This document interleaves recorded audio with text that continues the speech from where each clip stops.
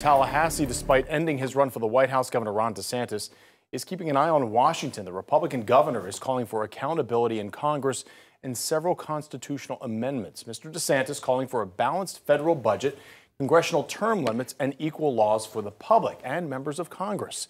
The governor proposed the ideas during a news conference in Naples. He's also proposing an amendment that gives the president line item veto authority for all appropriations. It's not a tough sell, and it's not a partisan issue, and it, and it, has appeal across any demographic line or partisan line you can do. So let's do it.